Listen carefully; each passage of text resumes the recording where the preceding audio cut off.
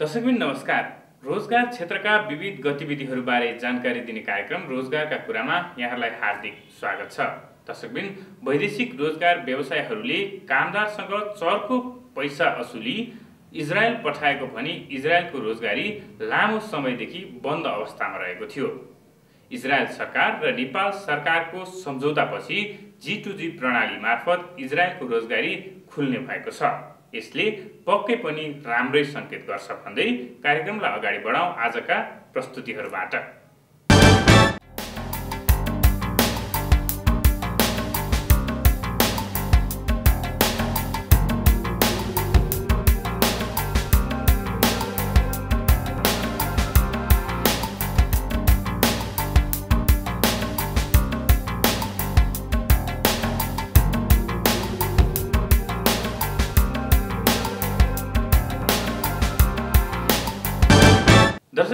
नेपाल वैदेशिक रोजगार व्यवसायी सङ्घमा यति बेला चुनावको सरगर्मी बढ्न थालेको छ। प्रगतिशील वैदेशिक रोजगार व्यवसायी मञ्च र फोरमले आफ्नै उम्मेद्वार खडा गरी यो पटक निर्वाचनमा पनि होमिने भएका छन्। अझ भनौँ त्यसभन्दा बाहेक पनि उम्मेदवारी पर्ने सङ्केत देखिएको छ। यसै सम्बन्धी तयार पारिएको एक रिपोर्ट अबको पालोमा नेपाल वैदेशिक रोजगार व्यवसायी सङ्घको आगामी वैशाख पच्चिस गते हुने भनी तय भएको निर्वाचनको सरगर्मी बढ्न थालेको छ। वैदेशिक रोजगार व्यवसायहरूमाझ यति बेला निर्वाचनकै मात्र चर्चा परिचर्चा हुनुले पनि व्यवसायहरू चुनावको रौनकमा छन् भन्ने प्रष्ट हुन्छ। पछिल्लो अवस्थालाई निहाल्ने हो भने व्यवसायहरूले वैशाख पच्चिसमा हुने निर्वाचनलाई विग्रतका साथ प्रतीक्षा गरिरहेका छन् भन्दा अत्युक्ति नहोला। सङ्घमा लामो समयदेखि भएको विवाद र आलोचनाहरूको अन्त्यका लागि पनि निर्वाचन अपरिहार्य रहेको विश्लेषकहरू बताउँछन्। विगतमा झैँ यसपटक पनि सङ्घमा नयाँ नेतृत्वका लागि विभिन्न खेमाबीच प्रतिस्पर्धा हुने निश्चित प्राय देखिएको छ। नेकपा एमाले सम्बद्ध व्यवसायहरूको संस्था प्रगतिशील वैदेशिक रोजगार व्यवसाय मञ्चले व्यवसायी सरोज पोखरेललाई अबको निर्वाचनको लागि अध्यक्षको उम्मेद्वारको रूपमा अगाडि सारेको छ। अन्य पदाधिकारीहरूको भने टुङ्गो लाग्न बाँकी रहेको बताइएको छ। यता नेपाली काङ्ग्रेस सम्बद्ध व्यवसायहरूको संस्था लोकतान्त्रिक वैदेशिक रोजगार व्यवसाय फोरमले भने चरको विवाद भएपछि अध्यक्षमा कसलाई अगाडि सार्ने टुङ्गो लागेको छैन। फोरममा विमल ढकाल किरण किशोर घिमिरे र ज्ञान प्रसाद गैरे बीच कसलाई छान्ने भन्ने विवाद चुलिएको बताइएको छ। त्योसँगै फोरमबाटै हालका सङ्घका अध्यक्ष र महासचिव हंसराज वाग्ले र कमल तामाङको नाम पनि अगाडि आएको बताइएको छ। फोरममा विवाद भइरहँदा मञ्चले पनि उम्मेद्वार खडा गरी प्रचार प्रसार समेत थालिसकेको छ। मञ्चका तर्फबाट अध्यक्षका उम्मेद्वार सरोज पोखरेलले सम्पूर्ण व्यवसायी र कामदारहरूको हक हितका लागि सबै व्यवसायीहरूलाई एकताबद्ध बनाई अगाडि बढ्ने आफ्नो धारणा रहेको प्रस्ट्याएका छन्। आफू मञ्चको तर्फबाट उम्मेद्वार बने पनि सबै व्यवसायीहरूलाई गोलबद्ध बनाई व्यवसायीका हक हितमा लाग्ने उनले बताए। यद्यपि म प्रगतिशील रोजगार व्यवसाय मञ्चको तर्फबाट उम्मेद्वार बने पनि हाम्रो अहिले मूल विषय भनेको चाहिँ यस व्यवसायमा लागेका साथीहरूको चाहिँ एउटा सुरक्षाको निम्ति जाने नेपाली कामदारहरूको सुरक्षाको निम्ति चाहिँ अब हामी टुक्रा टुक्रामा बाँडिएर होइन एउटा चाहिँ एको एक ढिक्का भएर अगाडि बढ्नु परिस्थिति छ। यसको निम्ति हामी सबै व्यवसायीहरूलाई बढीभन्दा बढी व्यवसायी साथीहरूलाई चाहिँ हाम्रो टिममा गोलबद्ध गरेर निर्वाचनमा जान चाहिरहेका छौँ। यसको अर्थ के भनेदेखि हामी यो व्यवसायलाई व्यवस्थित गर्न चाहन्छौँ मर्यादित बनाउन चाहन्छौँ जाने कामदारहरूको नेपाली दाजुभाइ दिदीबहिनीहरूको चाहिँ सुरक्षाको निम्ति हामी चाहिँ काम गर्न चाहन्छौँ हामी यस क्षेत्रमा लागेका व्यवसायीहरूको सुरक्षा चाहन्छौँ। यस निम्ति पनि बढीभन्दा बढी व्यवसायीहरूको चाहिँ समर्थन साथ लिएर नै यो काम गर्न सकिन्छ। यस अर्थमा हामी यो हाम्रो समूहलाई चाहिँ त्यस रूपमा डेभलप गर्ने हाम्रो प्लान छ यता फोरमले आफ्नो आधिकारिक धारणा सार्वजनिक नगरे पनि पछिल्लो पटक पनि निर्वाचनमा अध्यक्ष पदमा पराजित भएका व्यवसायी किरण किशोर घिमिरेले फोरमले आफ्नो पक्षमा निर्णय गर्नेमा आफू विश्वस्त रहेको बताएका छन्। त्यस्तै उनले आफूलाई व्यवसायहरूले जिताएमा छ महिनाभित्र व्यवसायी र कामदार मैत्री हुने गरी ऐन संशोधनमा पहल गर्ने बताएका छन्। म यदि सङ्घको नेतृत्व मैले गरेँ भने म पहिलो कुरो त के भन्छु भने चार पाँचवटा कुराहरू वर्तमान ऐन संशोधनका सन्दर्भमा म क्रियाशील भएर लाग्नेछु र लाग्छ छ महिनाभित्र ऐन संशोधन गराएर त्यो व्यवसाय मैत्री र कामदार मैत्री ऐन बनाउन सकिनेछ भन्ने मलाई लाग्छ। त्यसबारे म म पहल कदमी म कोअर्डिनेसन गर्न सक्छु। त्यस्तै व्यवसाय र व्यवसायीलाई जोड्ने। अहिले व्यवसायसँग सङ्घसँग व्यवसाय जोडिएको छैन। त्यस कारणले सङ्घले उत्तरदायित्वपूर्ण भूमिका निर्वाह गर्न सकेको छैन। त्यो चिजलाई जोड्न ऐन कानुन नियम नीति वा आदेशद्वारा त्यसलाई थापित गर्ने प्रयत्न गरिनेछ गर्नेछु। त्यो म तपाईँलाई भन्छु म निर्वाचित भएको एक महिनाभित्र म त्यो गर्छु। सङ्घमा विगत लामो समयदेखि वैदेशिक रोजगारको क्षेत्रलाई मर्यादित व्यवस्थित र सुरक्षित बनाउने भन्ने कुरा नारामा मात्र सीमित रहेकाले त्यसलाई अब व्यवहारमा उतार्ने बेला आएको मञ्चका उम्मेद्वार पोखरेल बताउँछन्। एकदमै अहिले घनीभूत रूपमै नेपाली कामदारहरू विदेशमा गएको अवस्था भने पनि लगभग लगभग बिस वर्ष भइसकेको छ। तर यो बिस वर्षमा पनि हामीले जहिले पनि यसलाई सुरक्षित मर्यादित व्यवस्थित बनाउने कुरा चाहिँ नारामा मात्र सीमित गऱ्यौँ। हामीले त्यसलाई व्यवहारमा जुन रूपमा उतार्न सक्नुपर्छ उतार्न सकेनौँ। त्यसले गर्दा अब मेन कार्ययोजना भनेको वैश्व रोजगारलाई व्यवस्थित मर्यादित र सुरक्षित बनाउने र यस क्षेत्रमा लागेका व्यवसायहरूको सुरक्षाको निम्ति जाने कामदारहरूको सुरक्षाको निम्ति चाहिँ अब मेरो उम्मेदवारी हो र हामी त्यस अन्तर्गत पोलिसी अगाडि लिएर जान्छौँ। यता अर्का प्रत्याशी घिमिरेले व्यवसाय सङ्घमा भलाइ कुछ नभएकाले आफूले तिन महिनाभित्रमा व्यवसायको हक हितको निम्ति भलाइ कुछ स्थापना गर्ने बताएका छन्। यत्रो पाँच लाख साढे पाँच लाख हामी कामदारहरू पठाउँछौँ। हामीसँग भलाइ कोष छैन। यातायातका क्षेत्रमा भलाइ कोष छ। त्यस कारणले म भलाइ कोष स्थापना गर्न तपाईँहरूलाई के भन्छु भने निर्वाचित भयो भने तिन महिनाभित्रमा भलाइ कोषको सुरुवात म गरेर जान सक्छु। त्यो विश्वास मसँग छ? जसले भोलि फर्केर आउने कामदार उडेको कामदारको सय रुपियाँदेखि पाँच सय रुपियाँसम्मको एउटा फन्ड गर्ने। त्यो फन्ड व्यवस्थापनका लागि एउटा विश्वसनीय आधार खडा गर्ने। त्यस्तो गऱ्यौँ भनेपछि एउटा ठुलो फन्ड पनि हुन्छ र हामीले सिएसआर कर्पोरेट सोसियल रेस्पोन्सिबिलिटी पनि जान सक्छौँ। चुनाव नजिकै जाँदा उम्मेद्वारहरूले व्यवसायलाई आफ्नो विवेकको मत प्रयोग गर्न र सही नेतृत्व चयन गर्न आग्रह गरेका छन्। अन्त्यमा म व्यवसायी साथीहरूलाई विनम्र विनम्रतापूर्वक आग्रह के गर्न चाहन्छु भने यो दुई वर्षको निम्ति निर्वाचन हुन गइरहेको छ। आफ्नो विवेक अधिकतम प्रयत्न गर्नुहोस् विवेक प्रयोग गर्नुहोस् र कमसेकम आज तपाईँहरूले गरेको मतदानले भोलि यो व्यवसाय क्षेत्रमा सकारात्मक परिवर्तनको निम्ति त्यो साधक बनोस्। यसको निम्ति म एकदमै गम्भीर भएर मतदान गर्न आग्रह गर्छु। हामीहरू धेरै परीक्षणहरू गऱ्यौँ अब परीक्षणमा नबिताउँ। अनुभवले पाकेको दृष्टिकोणले परिपक्व व्यवसाय बुझेको नेतृत्व पठाउँ। हामी सङ्क्रमणमा छौँ। त्यो चाहिँ आम व्यवसायी मित्रहरूलाई म अनुरोध गर्न चाहन्छु। फोरममा विवाद बढेसँगै यसपटकको निर्वाचनमा पनि तिन चारजना उम्मेद्वार अध्यक्षमा प्रत्याशी भन्ने देखिएको छ। फोरमले एकजनाको पक्षमा निर्णय गरे असन्तुष्ट पक्षले पनि छुट्टै उम्मेदवारी घोषणा गर्ने देखिएको छ। जसले अघिल्लो पटकको जस्तै नतिजालाई फाइदा पुग्ने विश्लेषकहरूको भनाइ छ। अघिल्लो पटकको निर्वाचनमा पनि फोरमबाट किरण किशोर घिमिरेलाई अध्यक्ष पदको उम्मेद्वार बनाएपछि असन्तुष्ट व्यवसायहरूले हंसराज वाग्लेको नेतृत्वमा छुट्टै प्यानल बनाई चुनाव लडेका थिए। जसको परिणाम मञ्चका तर्फबाट अध्यक्षको प्रत्याशी बलबहादुर तामाङले हंसराज वाग्लेलाई एक मतले पराजित गरी सङ्घको अध्यक्षमा निर्वाचित भएका थिए। यसलाई निहाल्ने हो भने अबको निर्वाचनमा पनि मञ्चका तर्फबाट अध्यक्षका प्रत्याशी सरोज पोखरेलको पोल्टामा बढी मत खस्ने धेरैको विश्वास छ। दर्शकबिन कामदारहरूलाई वैदेशिक रोजगार व्यवसायहरूसम्म पुर्याउन सहयोग गर्ने एजेन्टहरूको सङ्गठन नेपाल वैदेशिक रोजगार प्रतिनिधि एजेन्ट एसोसिएसनले कामदारहरू ठगुनीमा सबैभन्दा ठुलो दोष वैदेशिक रोजगार व्यवसायहरूकै रहेको बताएको छ। राजधानीमा एक पत्रकार सम्मेलनको आयोजना गरी एजेन्टहरूले दोष मेन पावर व्यवसायहरूलाई देखाएका हुन्। नेपाल वैदेशिक रोजगार प्रतिनिधि एजेन्ट एसोसिएसनले मेन पावर व्यवसायहरूले गरेको गल्ती एजेन्टहरूमाथि थोपरिने गरेको आरोप लगाएको छ।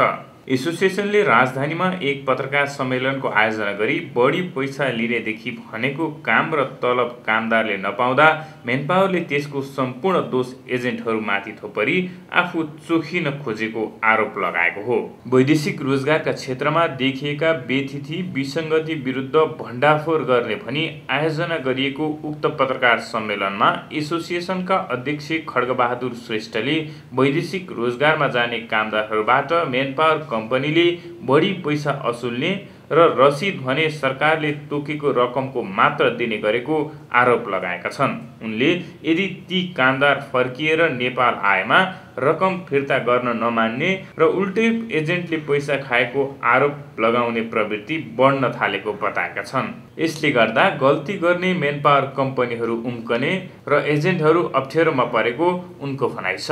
हरेक कामदारबाट मलेसियाको लागि रु एक लाख असी साठी हजार र कतारको लागि रु साठी हजार वा सोभन्दा बढी रकम असुल छन्।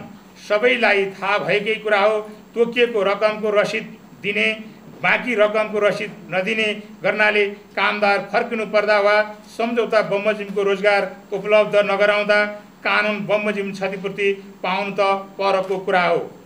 कुरा आफ्नो गलत रकम पठाउने के अरे रकम उठाउन उठाउन पनि प्रमाण नै पुर्याउनु नसक्ने अवस्था छ। देखे देखादेखि कामदार ठगिने यो अवस्थालाई निरन्तरता प्रदान गर्न रकम बुझाउने ब्याङ्किङ प्रणाली लागू नगराउनु गर्न पनि नदिनु। वैदेशिक रोजगार व्यवसायमा भइरहेको यो जस्तो ठगीको उत्कृष्ट नमुना अर्को के हुन सक्छ? त्यस्तै अध्यक्ष श्रेष्ठले मेन पावर कम्पनीहरूले आफूले भनेकै मेडिकल संस्थामा कामदारको मेडिकल गराई सेटिङ गर्ने गरेकाले कामदारहरूका साथै प्रतिनिधि एजेन्टहरूलाई दुःख दिने गरेको बताए। यसरी गुणस्तरीय मेडिकल परीक्षण बिनै कामदार वैदेशिक रोजगारमा पठाउँदा दिन प्रतिदिन मेडिकलका कारण कामदारहरू फर्किने गरेको उनले बताए। मेन पावर कम्पनीहरूले आफूले तोकेकै स्वास्थ्य संस्थाबाट स्वास्थ्य परीक्षण गर्न प्रतिनिधि एजेन्टहरूलाई लगाउने माग सङ्ख्या पुर्याउनलाई पठाएको सबैलाई मेडिकल जाँचमा फिट गराई सेटिङमा मेडिकल रिपोर्ट तयार गर्न लगाउने मेडिकल जाँचमा पनि कमिसन लिने र दिने गर्नाले गुणस्तरको जाँच परीक्षण हुन नपाई मेडिकलको कारण कामदार फर्किने सङ्ख्या दिन प्रतिदिन बढ्दै गएको अवस्था छ। त्यसै गरी अध्यक्ष श्रेष्ठले मेन पावर कम्पनी र अभिमुखीकरण तालिम संस्थाहरूको मिलेमतोमा कामदारले अभिमुखीकरण संस्थाको मुखै देख्न नपाई विदेश पठाउने गरेको आरोप समेत लगाए। उनले कामदारले तालिमै नदिई सर्टिफिकेट किनबेच हुँदा अभिमुखीकरण संस्थाको औचित्य नै नभएको आरोप लगाएका छन्। कामदारले अभिमुखीकरण संस्थाको मुखै देख्न नपाई मेन पावरबाट सेटिङमा अभिमुखीकरण तालिमको सर्टिफिकेट उपलब्ध गराउनाले अभिमुखीकरण तालिम दिने संस्थाको औचित्य नै समाप्त भएको छ। यसमा नियमन गर्ने निकाय केही केही बोल्दैन। व्यतिथिको नियम नमुना यो पनि रहेको छ। अध्यक्ष श्रेष्ठले यी विषयमा सरकार र सम्बन्धित निकायलाई जानकारी गराए तापनि मन्त्रालय मुख दर्शक भएर बसेको भनी आक्रोश व्यक्त गरेका छन्। उनले आफूहरूले यिनै बुदाहरू समेटी ज्ञापन पत्र समेत बुझाइसकेको पत्रकार सम्मेलनमा जानकारी दिएका थिए।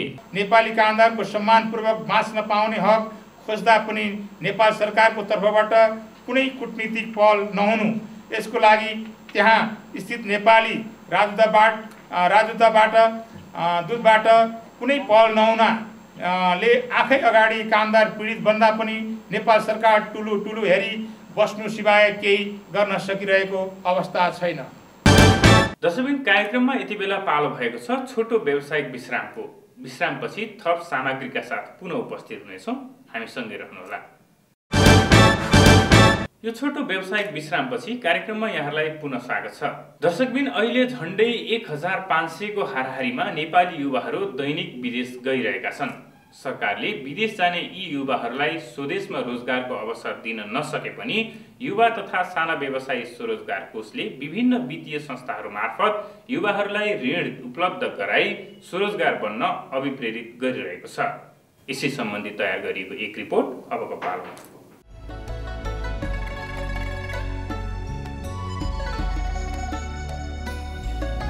यिनी हुन् टिका बास्तोला। शङ्खा सभाकी टिकाले व्यावसायिक तरकारी खेतीका लागि ललितपुरमा दस रोपनी जग्गा भाडामा लिए गत वर्षबाट खेती सुरु गरिन् हातमा पैसा नहुँदा भौतारी रहेकी टिकाले युवा तथा साना व्यवसायी स्वरोजगार कोष अन्तर्गत एक लाख रुपियाँ ऋण पाइन् र सोही रकममा थपथाप गरी व्यावसायिक खेती सुरु गरिन्। योभन्दा एक प्लट अगाडि हामीले चाहिँ काउलीहरू निकाल्यौँ। त्यसका निम्ति लगानी भयो। त्यसपछि मल अब सिँचाइ बिउ बिजनहरू अब ज्याला त्यसमै चाहिँ त्यो पैसाहरू हामीले खर्च गरेका छौँ। टिकाको यो पहिलो वर्षको खेतीले त्यति प्रतिफल दिन भने सकेन। तर पनि व्यावसायिक तरकारी खेतीको उत्साह उनमा अझ बढेको छ। अब सुरुवातको चरणमा गाह्रै हुँदो रहेछ। अब हामी अहिले लगानीकै चरणमा छौँ त्यसले गर्दाखेरि अब ठ्याक्कै हामीले चाहे जति निकाल्न गाह्रो रहेछ। तैपनि हामी अब एकदमै यहाँ निकै नै मिहिनेत गरेर गर्दाखेरि ब्याज तिर्नसम्म हामीले यो अहिलेको चरणमा ब्याज तिर्नसम्म सकेका छौँ। सुरुवातको चरणमा हामीले जे पूर्वाधार निर्माण गऱ्यौँ त्यो एउटा आधार हामीले निर्माण गरेका छौँ। त्यो आधारमा टेकेर हामी अर्को वर्ष चाहिँ राम्रो इन्कम गर्छौँ भन्ने प्लान हामीले बनाएका छौँ वार्षिक प्लान बनाएका छौँ। अरूकोमा ज्यालादारी काम गरेर मूर्ति बनाउने काम गरिरहेका यी दोलखाका भीमबहादुर विक स्वरोजगार कोषबाट दुई लाख रुपियाँ ऋण पाएपछि ज्यालादारी कामबाट अहिले उनी आफै मालिक बनेका छन्। अरूकोमा बसेर गरेँ होइन। अब मेरो काम गर्ने मान्छेहरू पनि छन् यहाँ दस आठजना मैले मान्छे नै राखिरहेको छु। मान्छे काम गर्नेहरू उहाँहरूलाई तलब दिएर राम्रोसँग त्यसरी राखिरहेको छु मैले। विकले आफ्नो सिपको उचित मूल्य नपाइरहेको अवस्थामा अहिले तिस पैँतिस हजारमा निर्माण हुने मूर्तिलाई साठी हजारसम्म बिक्री गर्न उनी सफल भएका छन्। उनले अरूलाई समेत रोजगारी दिइरहेका छन्। यसमा लगानी नगरेसम्म चाहिँ यसमा अलिकति फाइदा खान पनि सकिँदैन होइन? काम अर्काको मजदुरी मात्रै भएर गर्नुपर्ने हुन्छ। अलिअलि आफ्नो लगानी भयो भने चाहिँ फाइदा होस् अरूबाट भन्दा आफूबाट पनि अलि फाइदा बढी लिन सकिन्छ। हामीले बनाउनु पर्दा जस्तै अब कम समय पन्ध्र दिन होइन? दस पन्ध्र दिनमा हामीले त्यसरी बनाउन सक्यो भने यसलाई अब हामीले लगानी गरेको हुन्छ। अब यसलाई लगानी गर्दा हाम्रो त्यही तिस पैँतिस हजार लगानी जान्छ होइन? अब दस पन्ध्र दिनको टाइम लिएर हामीले यसलाई बनाएर हामीले बेच्दाखेरि त्यही पचपन्न साठी हजारसम्म बेच्न सकिन्छ।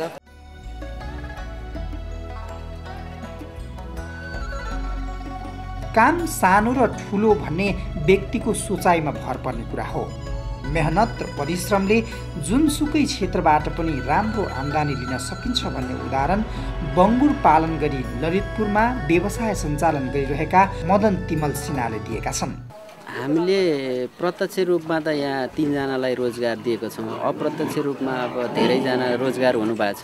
नेपालमा अझै पनि सुँगुर बङ्गुर छुनुहुन्न भन्ने धारणाको अंश बाँकी रहिरहेकै हाम्रो समाजमा ब्राह्मणका छोरा मदनले उदाहरणीय कार्य मात्र गरेका छैनन् राम्रो आम्दानी समेत लिइरहेका छन्।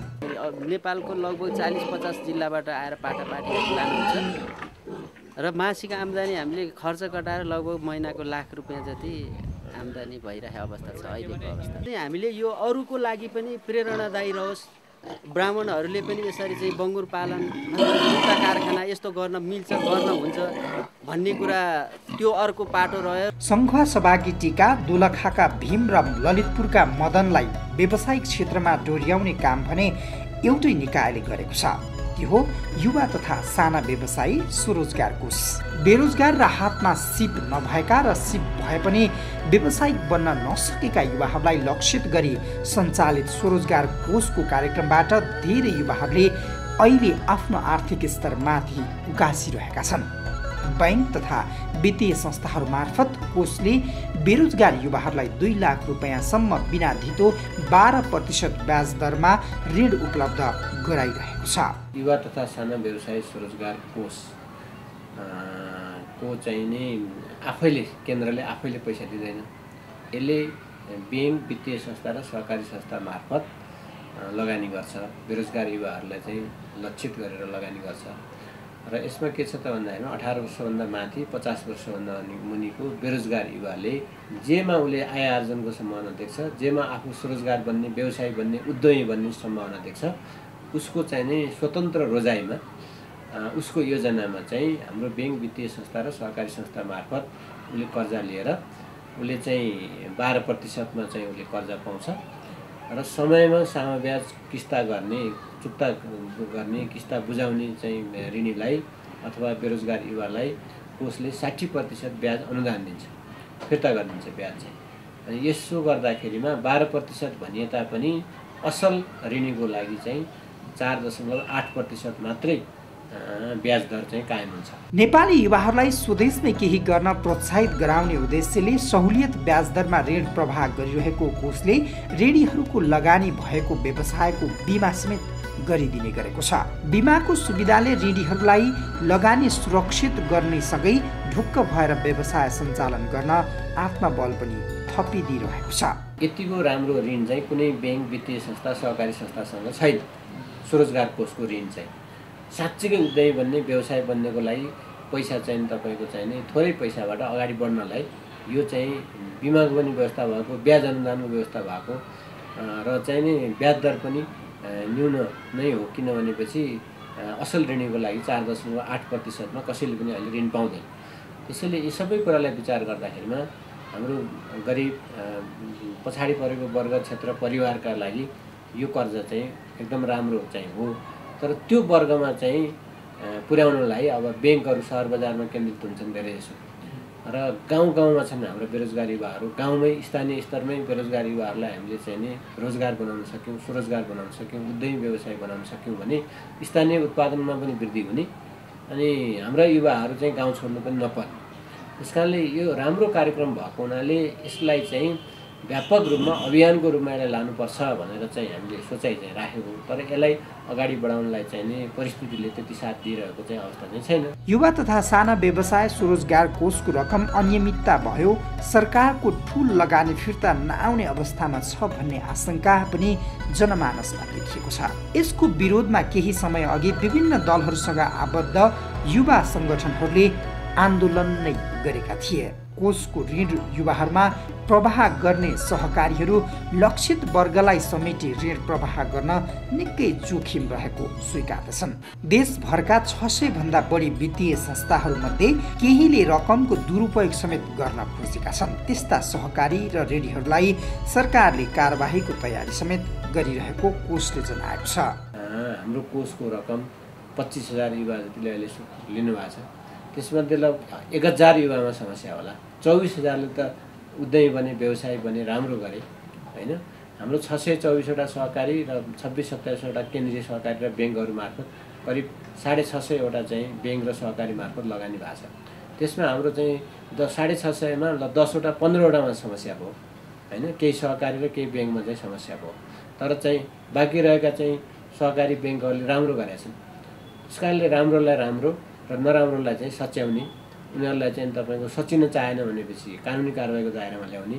त्यसैले अहिले हामी जिल्ला प्रशासन प्रमुखलाई चाहिँ नि हाम्रो जिल्ला अनुगमनको अध्यक्ष बनाएको कारण पनि त्यही हो। युवा तथा साना व्यवसायी स्वरोजगार कोषको रकम कुनै व्यवसायमा लगानी गर्न कम हुन सक्छ। तर धेरै ऋणीहरूले यसलाई पहिलो खुड्किलो मानि व्यवसाय सञ्चालनको स्रोत बनाउने गरेका छन्। जस्तो हामी मैले सोचेको अथवा हामी यहाँ जे काम गरिराखेका छौँ हामीले त्यो पैसा ऋण तिरेर त्यसबाट हामीले चाहिँ ठुलो उपलब्धि लिनुपर्छ भन्ने हाम्रो सोच हो। त्यो पैसा लिएर त्यसलाई हामीले चाहिँ अब व्यक्तिगत फाइदाका निम्ति अब दुई महिना चार महिना खान पुग्ला अरे तर त्यस पछाडि त त्यसको त चाहिँ स्रोत त बन्दैन। हामीले त्यसलाई स्रोतको रूपमा निर्माण गर्ने र हामी जग तेल बसालिसके पछाडि त्यो ऋण हामी तिर्न सक्छौँ तिर्नुपर्छ। उनीहरूले राम्रो कारोबार गर्ने युवा उद्यमीलाई ऋण रकम बढाउन कोषलाई आग्रह समेत गरेका छन्। वैदेशिक रोजगारमा खाडी मुलुकमा पन्ध्र बिस हजार मासिक कमाउन लाखौँ लगानी गरी विदेशिनु पर्ने नेपाली सन्दर्भमा सिप र पुँजी दिई स्वरोजगार बनाउने कोषको कार्यक्रम प्रशंसनीय छ। तर यसको कार्यान्वयनमा अझ बढी सक्रियता र रकम दुरुपयोग हुन नदिन अनुगमनसँगै सचेतना पनि समाजमा फैलाउनु आवश्यक छ। हस्त दर्शकबिन यिनै प्रस्तुतिहरूसँगै आजको कार्यक्रमबाट बिदा माग्नुपर्ने बेला भइसकेको छ। यहाँहरूलाई हाम्रो कार्यक्रम कस्तो लाग्यो? कृपया सल्लाह सुझावहरू पठाउँदै गर्नुहोला। सल्लाह सुझाव पठाउनको लागि हाम्रो इमेल ठेगाना रहेको छ media mission dot news at gmail dot com यहाँले हामीलाई प्रत्यक्ष सम्पर्क गरेर पनि सल्लाह सुझावहरू दिन सक्नुहुन्छ। त्यसको लागि हाम्रो मोबाइल नम्बर रहेको छ अन्ठानब्बे पाँच दस बाहन्न दुई सय पैँतिस। हस् त आजको कार्यक्रमबाट मसँगै मेरो सम्पूर्ण कार्यक्रम युनिटलाई बिदा दिनुहोस्। अर्को हप्ता यसै समयमा पुनः उपस्थित हुनेछौँ। नमस्कार।